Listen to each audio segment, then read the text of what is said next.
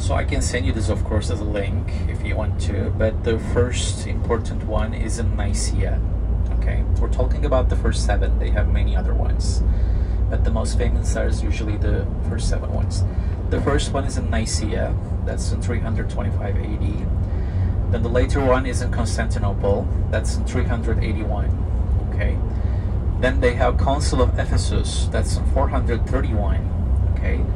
Then they have Council of Chalcedon, which is a neighborhood in the Asian side of Istanbul. That's 451. They have Second Council of Constantinople. That's 553. They have Third Council of Constantinople. That's 680. And they have Second Council of Nicaea. That's 787. Okay. The other prominent ones, well, they're not in Asia Minor.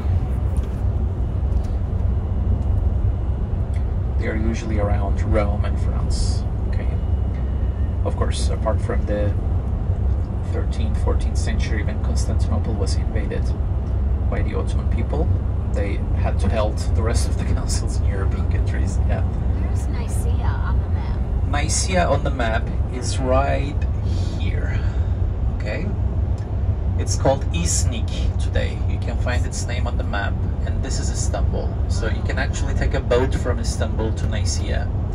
It's possible, but the thing is, visually, you wouldn't find anything from the ancient council, ancient Nicaea.